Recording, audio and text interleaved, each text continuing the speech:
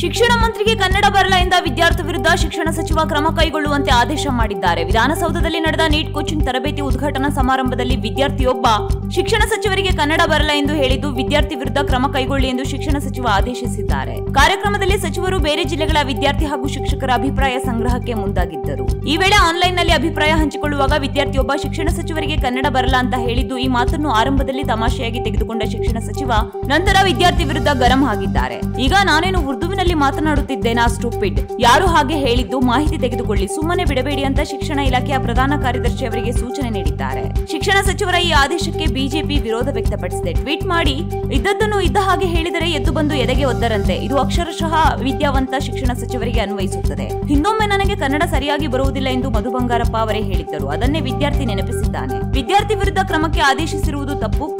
ಇದು one minute politics